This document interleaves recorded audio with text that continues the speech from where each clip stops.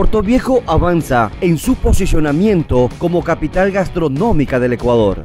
El pasado 22 de junio se firmó el convenio de cooperación interinstitucional entre el municipio y el Centro de Competitividad e Innovación del Ecuador. Dentro de este acuerdo se propuso organizar un foro taller donde se dará una rueda de negocios sobre gastronomía. Esta es la primera ocasión que vamos a realizar un foro específico para beneficiar al sector de alimentos y bebidas, así que invitamos a todas las personas del Cantón Puerto Viejo que estén de una u otra manera vinculados al sector gastronómico para que asistan el 1 y el 2 de diciembre. Es una oportunidad para que los comerciantes puedan conocerse entre ellos, que puedan conocer a sus proveedores, que puedan hacer nuevos negocios o que puedan consolidar los negocios ya existentes. El 2 y 3 de diciembre, desde las 9 de la mañana, el Jardín Botánico será el punto de encuentro de los emprendedores manavitas, quienes serán parte de un evento de alto nivel que tiene como finalidad elevar la calidad de la comida tradicional a través de procesos de capacitación técnica al sector gastronómico en el cantón,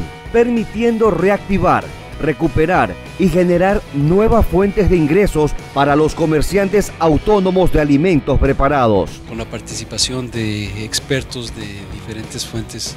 podamos contribuir a aprendizaje, a, compartir modelos de casos similares que han ocurrido en otras partes del mundo eh, o dentro del país y también a enseñar a los actores, a los propietarios de diferentes negocios pequeños de comidas y, de bebidas y a los restaurantes acerca de ciertas prácticas eh, que creo que son necesarias para poder sostener un crecimiento eh, de la actividad gastronómica de, manera profesional, de manera competitiva, de manera eficiente.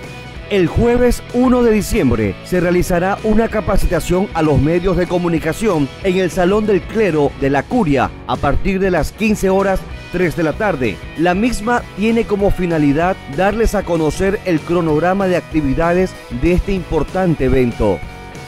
Puerto Viejo nace de ti.